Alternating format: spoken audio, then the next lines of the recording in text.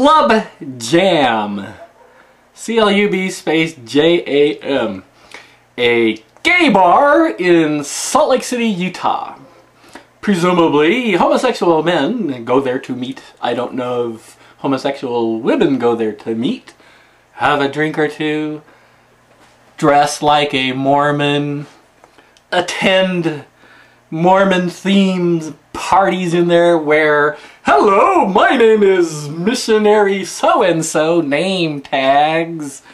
It seems the bar has what they call Mormon night. Great idea! Damn, I wish I could attend just for the the angst of it. Um, I would like be gay for uh, an hour or two or whatever the fuck it takes. Some of the the menu items for Mormon night are really cool. Sacrament shots, baptism by fireball, 151 missionary, I suppose that is the um, anti-equal marriage rights act in Utah, I don't know. My favorite drink, garment dropper. I don't know what the hell that is, but I want one. I want two or three, whatever the fuck it takes um, to drop garments. Oddly enough, and I don't understand this, church spokesperson Dale Jones says he is offended. I guess he's offended every time he goes in to the bar and attends Mormon night.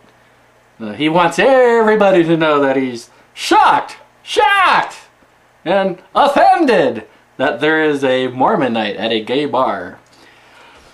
You know, if somebody doesn't want to be offended by something, they should stop being offended by that something. Surely this is obvious. Nobody is offending them. They are being offended by themselves. If he would just ignore Mormon night, it wouldn't offend him. It wouldn't be offending anybody. It sounds like one hell of an awesome party, except for perhaps the lack of women. But, offended by Mormon night at a bar, I can only think the only way a sane person could be offended by that is if they attended and they didn't have a good time. And how the fuck could you not have a good time when there's a drink called Garment Dropper?